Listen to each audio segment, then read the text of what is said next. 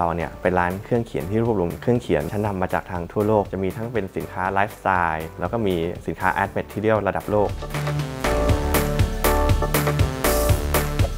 ริ่มต้นร้านละมุนเนี่ยก็คือเริ่มจากที่ว่าผมไปช่วยธุรกิจของทางคุณพ่อนะครับขายอุปกรณ์แพ็คเสื้อการเมนต์นะครับแล้วทีนี้เนี่ยทางเราเนี่ยอยากจะแนะนำร้านเนี่ยให้ลูกค้าในวงกว้างมากขึ้น เราก็จึงนำสินค้าที่เป็นสินค้า consumer product เนี่ยเข้ามาขาย หลังจากนั้นมาเนี่ยลูกค้าก็จะอยากได้แบบนู้นอยากได้แบบนี้ เราก็ฟังความแนะนำของลูกค้า แล้วก็นำเข้ามาเรื่อยๆ แล้วก็ต่อมาก็เป็นเครื่องเขียนอุปกรณ์ศิลปะ ซึ่งของที่เราเลือกมาแต่ละอย่างเนี่ย ลูกค้าเขาก็อยากจะได้ของที่ทางนี้เมื่อก่อนอะมันไม่มี แล้วก็จะเป็นของที่คุณภาพดีมาก แบบเดียวกับที่ศิลปินระดับโลกใช้ ซึ่งเราก็ค่อยๆ เก็บมาเรื่อยๆ จนตอนนี้เนี่ยมันก็จะแตกต่างจากตอนนั้นที่เราทำตอนแรกพอสมควร นับจากตอนแรกที่มาถึงทำตอนนี้ก็ประมาณ 12 ปีแล้วครับที่เปิดเป็นร้านละมุนขึ้นมา เอกลักษณ์และความโดดเด่นของร้านละมุนเนี่ยก็จะเป็นเครื่องเขียนที่แปลกตาที่หลายชิ้นเนี่ยในประเทศไทยก็จะไม่ค่อยนำเข้ามา เนื่องจากว่าราคาก็จะค่อนข้างสูง ในการเลือกแต่ละแบรนด์ที่จะเข้ามาเป็นคอลเลกชันภายในร้านเนี่ยโดยหลักๆ แล้วเนี่ยเราก็จะได้คำแนะนำมาจากทางลูกค้า เพราะทางลูกค้าเนี่ยก็จะมีของที่อยากได้ว่า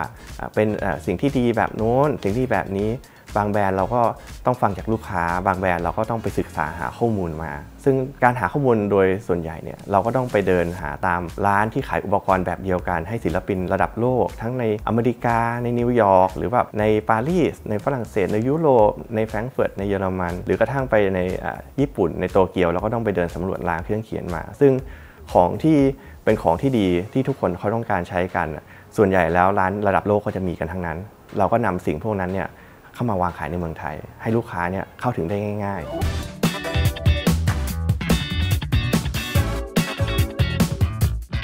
แบรนด์หลักๆ ของทางละมุนที่ลูกค้ามองหาก็จะมีตัว Traveler's Notebook ซึ่งเราก็จะมีตัวรีวิวพิเศษที่อื่นอาจจะไม่มี ต่อมาเราก็จะมีแบรนด์ Penco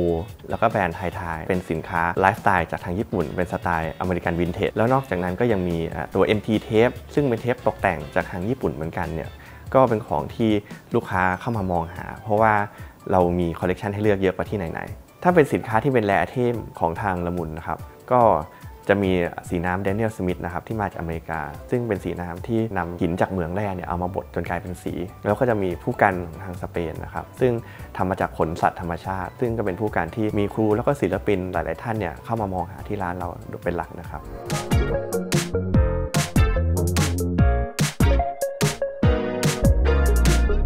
ตลาดอุปกรณ์เครื่องเขียนในเมืองไทยเนี่ยก็มองว่าก็ยังมีร้านที่เปิดขึ้นมา แล้วก็นำเสนอสินค้าเครื่องเขียนที่เป็นไลฟ์สไตล์มากขึ้น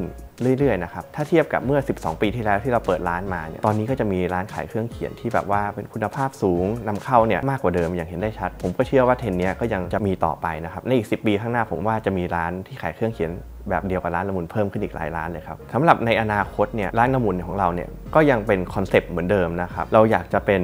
museum ของเครื่องเขียนให้ลูกค้าเข้ามา จะไม่ใช่แค่ว่าเข้ามาซื้อของ แต่ลูกค้าเนี่ยจะได้เข้ามา แล้วก็เห็นวิธีการใช้งานของได้มี experience เกี่ยวกับสินค้า ซึ่งเป็นสิ่งที่เรามุ่งหวังมาตลอด ในอนาคตเราจะเปิดให้มีเวิร์กช็อป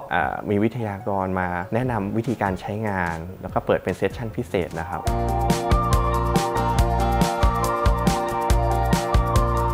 สำหรับเพื่อนๆที่อยากจะเริ่มธุรกิจเป็นของตัวเองนะครับแนะนำว่าเราอยากจะให้ใจเย็นๆ ค่อยๆทำไปเรื่อยๆ เติมสินค้าไปทีละนิดนะครับ แล้วก็รอดู feedback จากทางลูกค้า ค่อยๆ พัฒนาร้านขึ้นไปเรื่อยๆ ทีละนิดทีละหน่อยนะครับ ก็อย่าใจร้อน ผมมองว่าถ้าเราทำงานอย่างหนักนะครับ แล้วก็ปรับปรุงไปเรื่อยๆ ตาม feedback ที่ได้จากลูกค้าเนี่ย ธุรกิจเราก็จะมั่นคงแน่นอนครับ